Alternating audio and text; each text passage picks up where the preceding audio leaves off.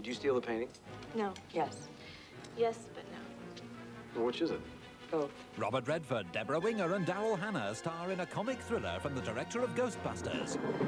Anything you say can be held against you. You have the right to an attorney. It looks like she's already had her attorney. Hey, If you repeat that allegation anywhere, I'll see to it you never practice law in any court in this country.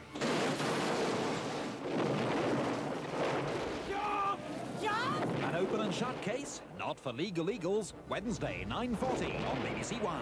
I don't ever want to do this again. This is where it looks good, doesn't it? This Thursday, a postcard from Clive James, reminiscing from his hometown. The old-style Aussie beer-bellied battler is becoming rare. But you should have seen us in our day. I had been a long time away from the hill, and indeed some have said that I am over it, but I was soon blending in as if I had never left. Sydney has quadrupled in size since I was young, and I suppose I have too. But Sydney hasn't lost its charm. Wish you were here? Yours, Clive. Thursday at 9.35 on BBC One. Back to tonight, and in 15 minutes on Wales on 2, you can catch highlights of the day's play in the last of the one-day internationals between England and the West Indies.